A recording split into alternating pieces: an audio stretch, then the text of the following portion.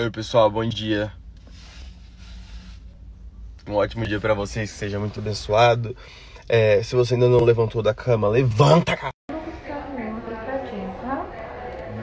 Não nada, cara. Sério?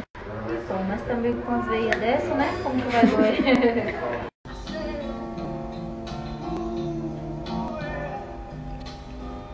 Você é apaixonada, mãe?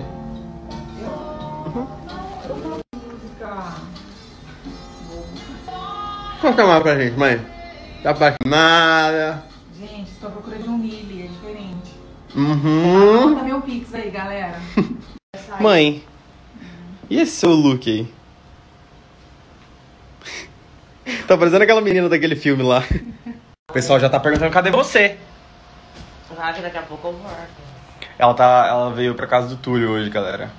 Falei pra ela lá pra casa, o Túlio nem tá aqui, não precisa limpar. Uh, você não conhece o tour, não. Ele nem vai dar falta. Hum, Não mesmo. hum. Mano, tipo, passa um paninho assim, ó, acabou. Ah, tá bom. Ok.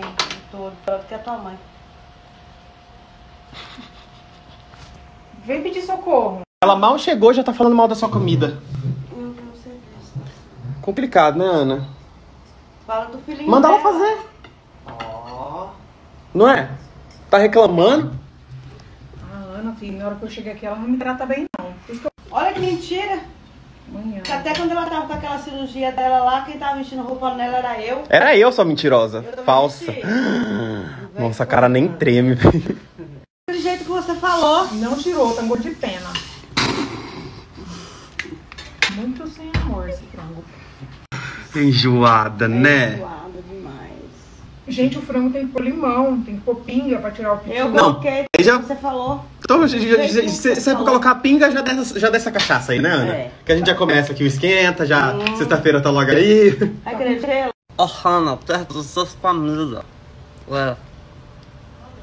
Lália. Tá igual? Lália.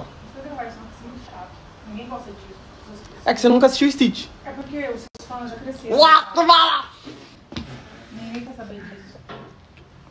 O problema é seu, você não gosta de Lilo Stitch.